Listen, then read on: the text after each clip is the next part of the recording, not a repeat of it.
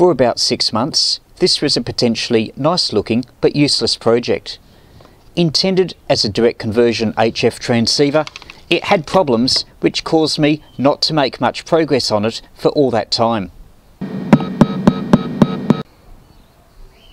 The issue was insufficient usable audio gain. Or more precisely, when you turn the volume control up, the thing would oscillate.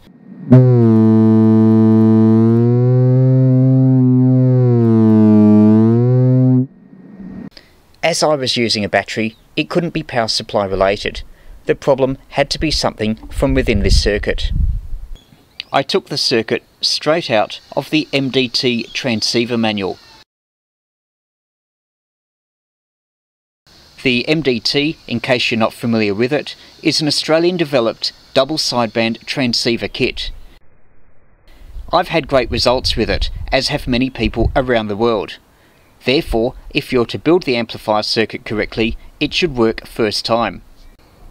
The only problem is that mine didn't. It required a fair amount of debugging to find out where all the problems were, and to get the circuit operating satisfactorily.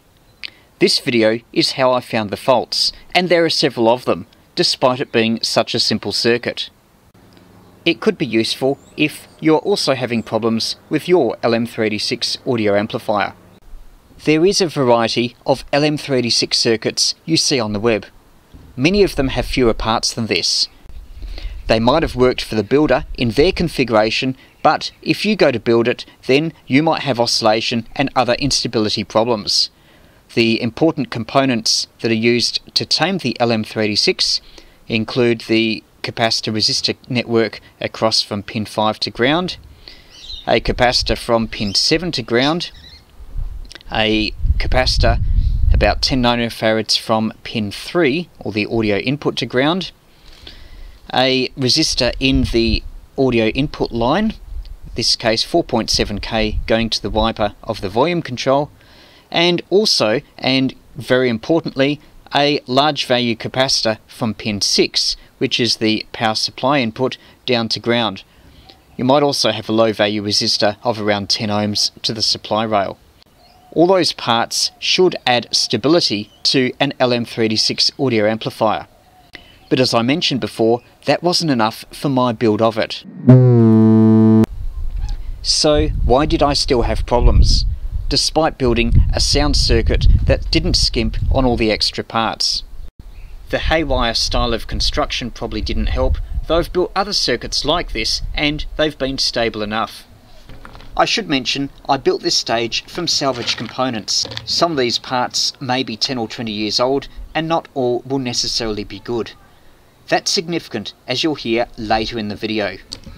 I went around the various components putting other parts in parallel and seeing if there is any change to the characteristics of the oscillation. If it got worse or better, that might indicate that that's part of the circuit that you need to pay a bit more attention to. I first of all disconnected the parts across pins 1 and 8.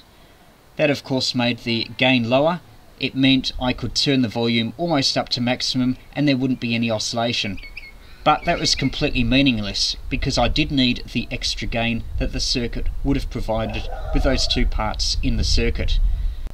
I found accidentally that the 10 microfarad capacitor here was not connected to ground. That helped a little bit, but not very much. Then I tried another capacitor between pin 6, which is the supply rail, and the ground, and that helped I think what had happened was the capacitor I put in was defective, so I ripped that out and put in a substitute capacitor. I fiddled around with the values for the 10 nanofarad. That was very close already to pin 3, so there wasn't any issue with the lead being too long. I tried 100 nanofarad, and I think that made the audio a bit bassier, but it still didn't stop the oscillation problem, so I put it back to 10 the resistor value of 4.7k I tried a higher value resistor but that didn't really stop the problem and besides that is already an appropriate value for this part of the circuit.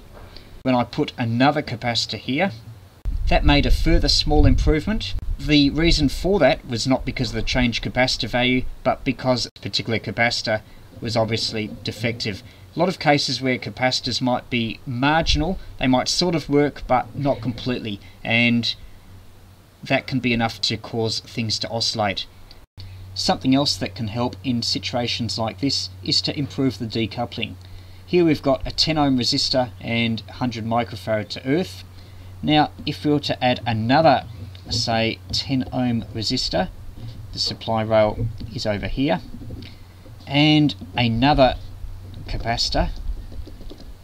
Again, it can be 100 microfarad, it could be 220, 470, doesn't matter so much. This is the wire from the earth. This is one end of the decoupling capacitor. Connect it and the oscillation goes away.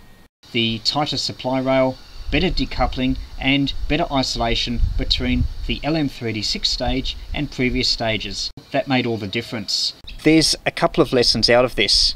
You might seek to reproduce a circuit, but through no fault of the diagram or the designer, it might not work for you. Don't overlook the possibility of faulty components, especially if they're salvaged. Also, don't be afraid of adding extra decoupling or shielding. That's particularly important for high gain circuits, because the more the gain, the more the possibility of oscillation, feedback and difficulties in taming the beast. Now to fix all the other problems this project has.